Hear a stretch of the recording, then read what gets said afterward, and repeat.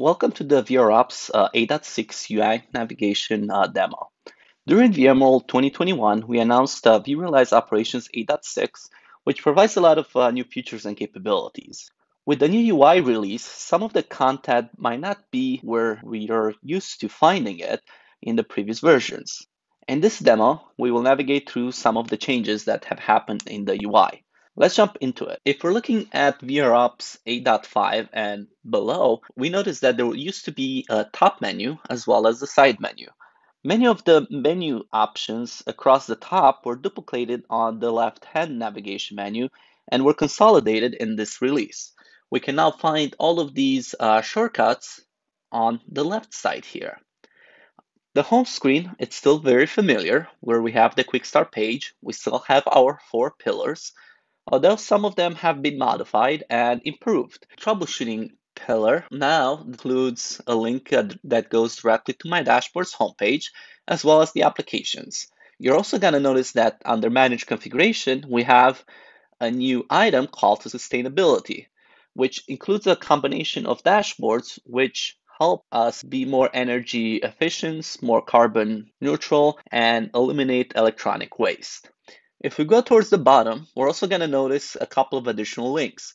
Links to the Code Samples Exchange, uh, Introduction to vRealize Operations, which actually takes us to our Pathfinder, where we have uh, a lot of introductory videos. We also have uh, ebooks, uh, data sheets that are available for consumption so you can get a better understanding of the product. On the left side, under Extended Monitoring, we have another link that goes to the True Visibility Suite Pathfinder page, where you can explore some of the additional capabilities that the True Visibility brings. You're also going to notice that uh, we introduced the Swagger UI for the REST API calls, making it a lot easier to make those uh, REST API calls.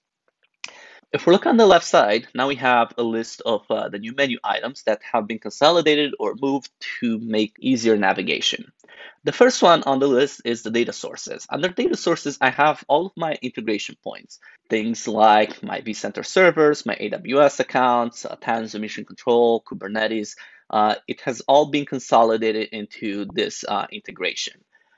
If I go back, I also have the repository where I can go and download additional management packs to add additional capabilities to the product. Right under data sources, we have the environment. The environment now includes my object browser, my inventory, the business applications, the custom groups, the data centers. Uh, they're all included under the environment now. Uh, I'm going to jump into the object browser. The object browser has been uh, revamped and now it makes it a lot easier to navigate. We also notice that the side menu automatically collapses for me so that I can have more space to navigate through some of the items that I want to have in my object browser.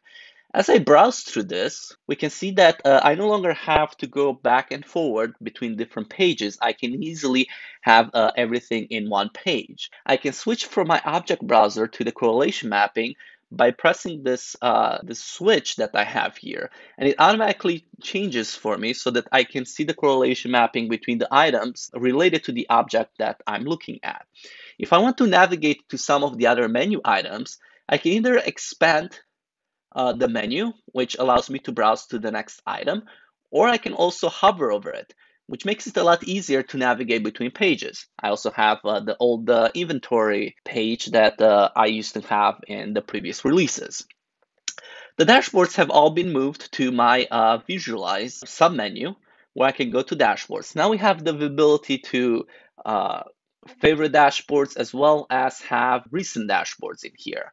I also have the capability to search. I can easily search for VM contention, for example. And you can see that it automatically updates on my right side without having to navigate to different pages. The other items like uh, views and reports have also been revamped so that they take advantage of the new UI. Next one is the troubleshooting. Here, I can see the alerts that I have around the environment, administrative alerts, the troubleshooting workbench, as well as log analysis. Now, if I go to the alerts, you're gonna notice that the alert definitions are no longer in here. They are actually under the configuration page where I can go to look at the alert definitions, the symptom definitions. I can make uh, new actions. The recommendations are all in here. Everything that's related to the alerts is now under the configuration page. The optimization is now uh, located under optimize.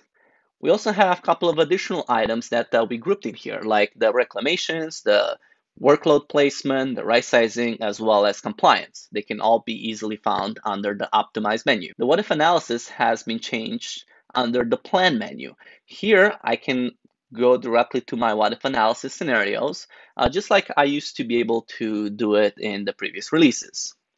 You're going to notice that uh, we also have a new item in here called cost. Here I can see a nice overview of my vSphere on-prem costs if I have anything in AWS or AVS, as well as uh, Amazon Web Services, Microsoft Azure, and Google Cloud.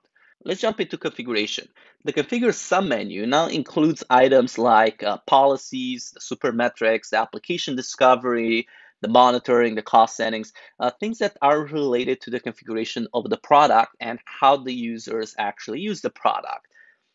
If we go to the administration page in here, this page now includes things that are related directly to operations like access control, uh, certificate management, authentication sources, the log forwarding, anything that uh, relates to product administration versus uh, configuration for uh, integrations within the product. And with that, I want to thank you for watching. If you don't currently have an operations instance available to test this out, I would encourage you to request a trial on VMware.com.